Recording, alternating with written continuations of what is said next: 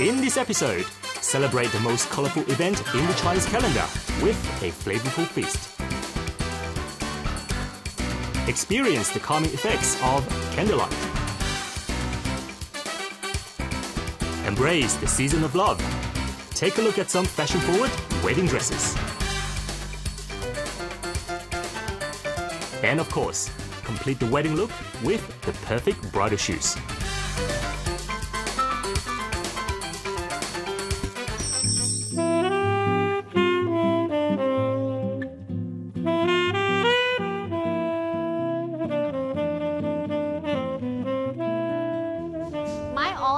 Favorite Chinese New Year dish is the traditional New Year cake. I love its gooey, sticky texture and the meaning that comes with it, symbolizing reaching new heights in the coming year. Well, this time of year is all about good wishes. And what's better than edible good wishes? Now, my mom would always make lots and lots of dumplings, since dumplings are said to be filled with good luck. And you know, Chinese parents, they always say, good fortune will come your way if you eat the right food. Symbolically, Lunar New Year is about doing away with the old of the previous year and beginning anew to usher in health, prosperity, and good fortune for the year ahead. That being so, we've got to try something new to ring in the ear of the ox. If you're bored with the traditional dishes that are served during the festive dinners, having spicy dishes from Sichuan is going to be a great way to spice things up.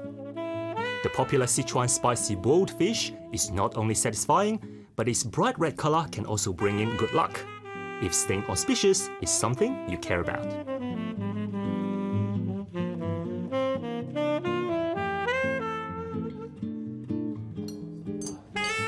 Joyce, I really like this level of spiciness because this level I can actually handle and enjoy eating. Um, it's a little bit mouth numbing though, but just the way I like it. Well, I've always been a fan of spicy food myself. It's full of aroma, particularly flavorful, keeps us warm during winter, and perfect for Chinese New Year gatherings. The core of Lunar New Year is ultimately a celebration of home and family. That's why gathering with family around the dining table is the most important event. Since the festive celebration is about family enjoying some good food, why not roll up your sleeves and whip up something to make the dinner more interesting? Crushing spices and century eggs with mortar and pestle by yourself is fun to do, and it also makes the dish extra aromatic and tasty.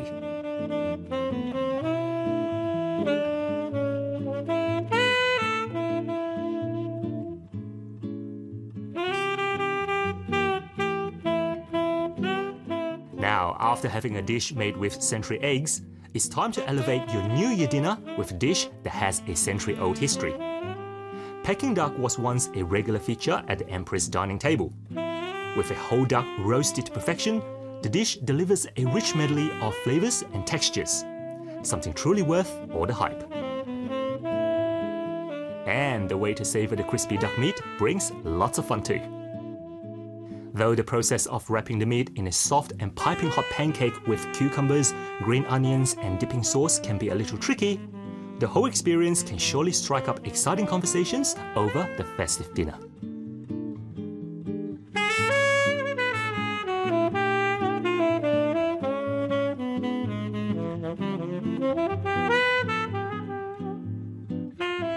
I have to say, Chinese New Year is my favorite time of year. It's usually the liveliest time of the year as well.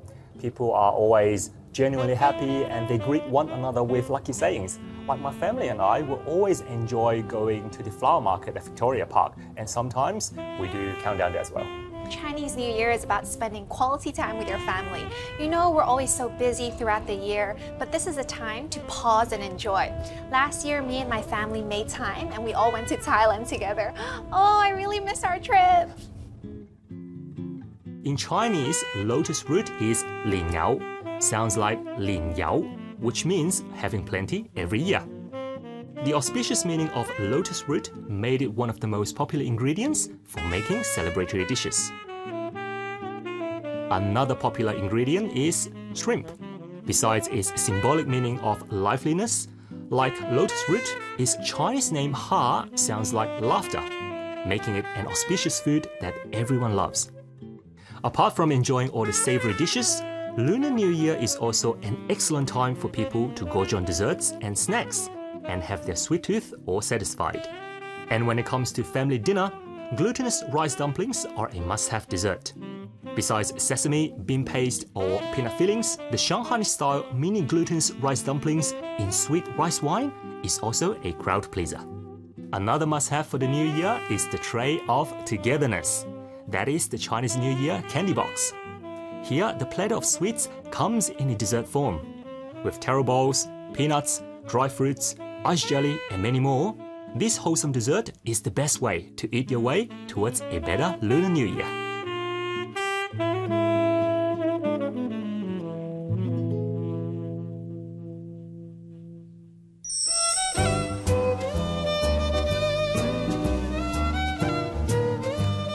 It seems like working from home has become the new normal these days.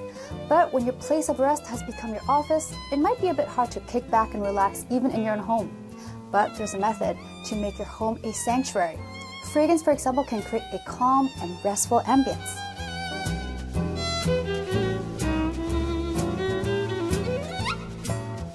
Fragrance usually affect our moods. Some people would like to use diffusers and some people would like to use perfume. Um, but also we could also put fragrance oil into our candles. And nowadays, I believe the Korean flower design is relatively popular these days. Uh, it could come in the form of dessert candle, candle design, and also soy flower candle. I believe um, the soy flower candle is uh, relatively natural, and um, because of the nature of the wax, it's um, made from soybeans, and also it's a form of the hydrogenated soybean oil, so which um, makes it the ingredients more natural and also renewable. It is safe to use and also very good for the environment.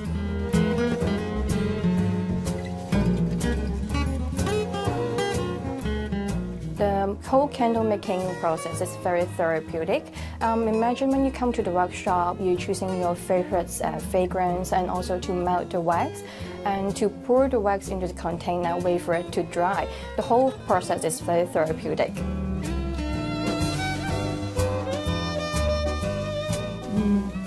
Now, if you're no stranger to aromatherapy, you've probably heard of diffusers. But if you want to fill your home with a soothing aroma, personally, I prefer scented candles because not only can I choose my own color, the size, the scents, if it's a personalized design, it can also be a unique home decor item.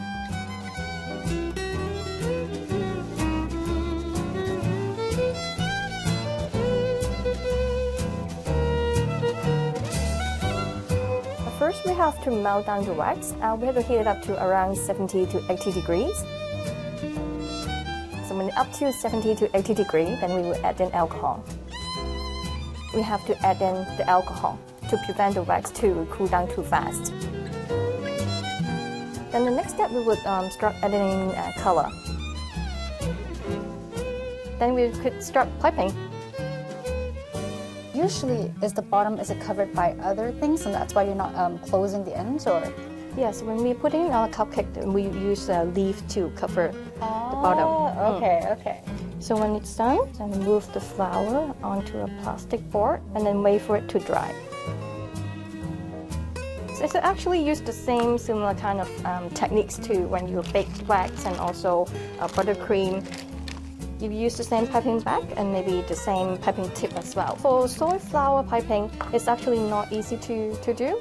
Just like um, playing a musical instrument, um, it takes time to uh, practice a lot because wax is affected by temperatures. When the weather is getting cold, then we could use the heat gun to help with it. Uh, it will become very, very soft, so we have to master the mixture. Um, in between the right mixture, then we could start piping the wax out. So when you see the flower side crack a little bit, then you could use the heat gun to help with it.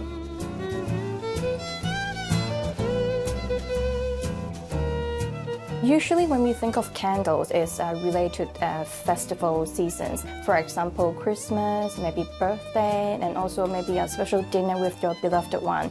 Uh, we will take Earl Grey tea for instance. When we think of Earl Grey tea, in, we could think of maybe a relaxing afternoon tea with your friends and lovely dessert, it actually would give you a really good memorable moment. It's a happiness. So maybe uh, one day when you get home and you light up your candle, um, you start smelling of the Earl Grey scent. So all of the enjoyable moments and good memories will bring back to you. Um, we call that aromatology, which is um, a special uh, influence on the human behavior, on the special odors, and also the relationship between your feelings and emotions. There's a golden rules for um, candle burning. So first, uh, we have to burn for one hour for every inches in diameter of the candle. For instance, if we have um, two inches um, candle across, we should burn it for two hours. And second, you should always trim the candle wick and clear out the debris when burning candle. It will burn up to 25% longer if we are trimming the candle wick every couple of hours. And also always keep the candle in a dry and dark place and also put the lid on to protect the fragrance and also to protect the wax. I like buying scented candles from time to time, but usually it's like the ones in the glass jars. I didn't know that candles could come in so many different varieties. I mean, you can make it look like a flower or a cake. That's a visual enjoyment by itself. But what I didn't know is that the aroma can diffuse without even burning it. That way you can save the beautiful appearance of the candle. After the break, for those who want to make the most romantic day of the year a part of your love story, let's talk with designers who specialize in bridal dresses and shoes.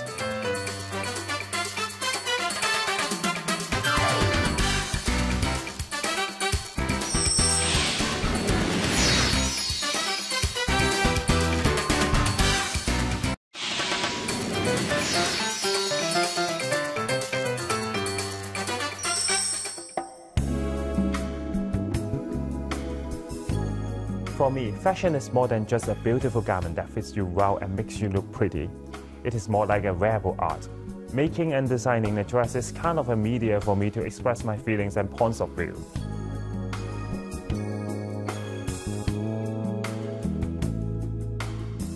Hi guys, this is Kev Yu. Welcome to my fashion world.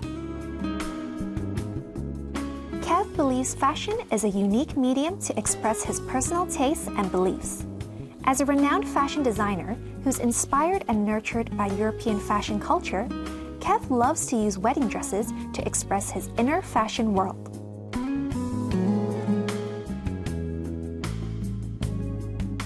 Could you share with us the story behind your collection? It has been three years since I presented my previous collection in Shanghai, so I had a pretty long break to review myself and my designs. The brand itself also had pulsed for over 70 years, so the current collection resembles a fresh start for both the brand and me. Regardless of my expressions through the creations, I also feel like I have a mission to persevere with the brand's heritage. For this collection, lots of vintage elements like French lace, ruffles, and floral appliques have been used. However, I never intended to create a brand image of vintage wedding gowns, so all the mentioned elements I applied with a contemporary twist, like the reversed ruffles and cutout details and the reconstruction of embellishment on traditional lace. In my own opinion, exploring new direction is as important as maintaining the brand's heritage.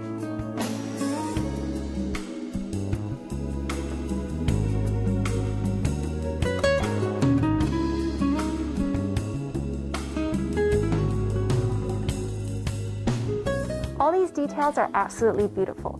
How would you describe your design philosophy? My design philosophy is simple. I want to make every woman pretty and confident. And I believe everyone has their own aesthetic, and there should never be a particular trend nor style to follow. I think we should celebrate our own uniqueness rather than squeezing ourselves into this tiny box of stereotype. Definitely. I think every woman wants to be unique at heart. When designing wedding gowns, how do you strike a balance between unique and timeless? Mm, I think there's a boundary when it comes to designing a wedding gown. It has to be a timeless piece, but also be able to represent your own style.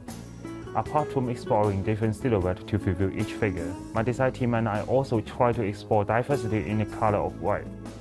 We try to combine different styles of laces to create depth and dimension, and with the use of metallic thread, we make the gowns shimmer elegantly.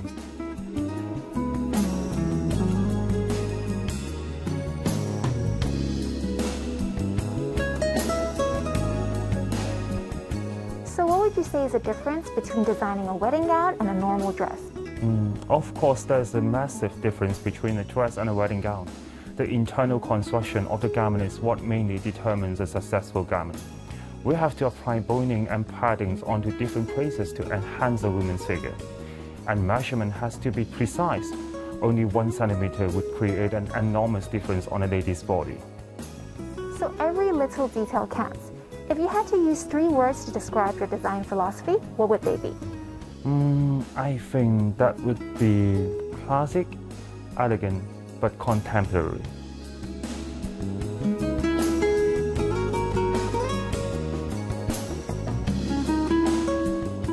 When it comes to picking your wedding gown, it's got to be unique.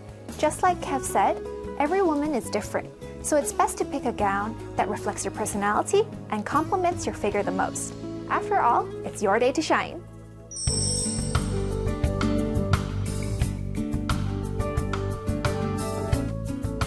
Your wedding is a special moment in your life, and a lot of brides spend a lot of time and effort looking for the perfect wedding dress, but spend less time looking for the perfect pair of bridal shoes. But actually, the pair of shoes you wear on your wedding day is really important. It's a big part of that moment in your life. Wing used to work in the fashion industry, but has recently shifted her design passion to shoe design. In her opinion, involving the wearer is the best way to create a pair of shoes.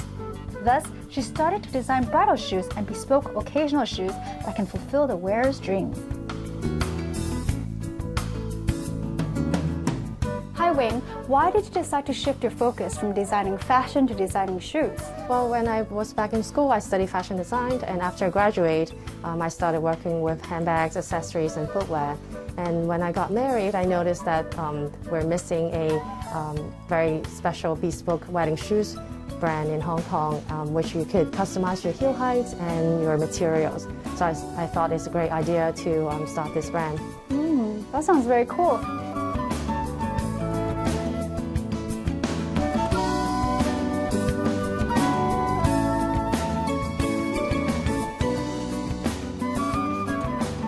Now, what's your design philosophy when it comes to designing bridal shoes? Well, I think timeless wedding shoes is very important, and it's great to make it um, comfortable and wearable. And I think where um, uh, storytelling footwear is also an important um, aspect of it. Are there any unique design elements that you incorporate into your designs? Like I mentioned earlier, I think a storytelling details is very important. So we include a um, bespoke monogram on the bottom of the shoes, which you could specialize. Um, you can customize your monogram or um, special message on the bottom of the shoes.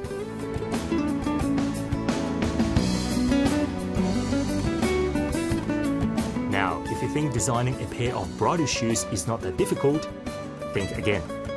Because creating an exquisite and comfortable pair needs more than only the designer's aesthetic sense and designing skills. In fact, there are loads of things that need to be considered. And what are some challenges that you come across when taking all those into account, like they have to be comfortable and timeless? Mm-hmm. So when we start designing um, our wedding shoes, we start with um, special last that um, is also comfortable and beautiful. Um, we also try to create slimming last, um, which you can wear them in different heel heights and also um, which can also fit Asian feet.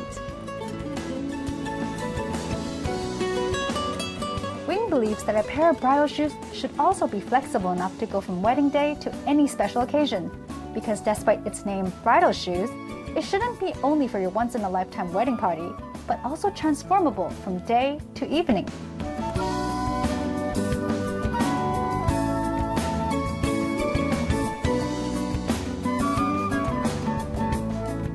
Would you describe your own uh, designer shoes? Like, would you say they're very classy, timeless, very haute couture? How would you describe? Well, I think our shoes are very timeless because from let's say 10 years from now, you still think they're beautiful and they don't go out of style. Sounds excellent. Now, which shoes are your own favorite pair? Well, my favorite pair of shoes is the glitter um, crystal pumps um, with a cutout design on the back of the shoes. And we could also incorporate a removable ankle strap, which you can tie around your ankle, which create a ballerina styling. Oh, and that sounds very comfortable, so the shoes won't fall off too, right? Definitely. and now, why do you think every woman deserves to have a pair of bespoke bridal shoes? Mm -hmm. Well, again, I think it's important to have a comfortable pair of wedding shoes for your big day because you wear, the, you wear them from day to evening. And um, it's also a great um, memorable items that you can keep and treasure after your weddings. I fully agree.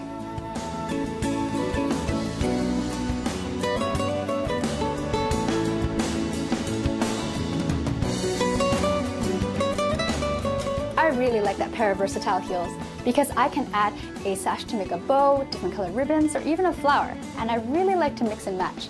So a pair of heels that can adjust to my outfit is the perfect pair for me. Everything about your wedding may bring you back to that touching moment. You may not be able to wear your bridal gown as your daily outfit, but you can certainly rewear your bridal shoes. Therefore, having a pair of timeless and versatile designer bridal shoes would be the perfect choice.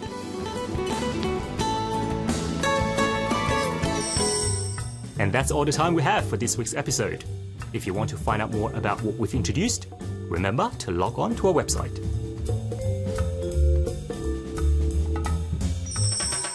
In the coming weeks, let's explore the path to a sweeter life. Join us to savor seasonal delights from around the globe. Check out ways to stay healthy and look gorgeous. Keep up with the latest trend in every aspect of life. And connect with inspiring people from different backgrounds. Be sure to tune in again next time to live your best life.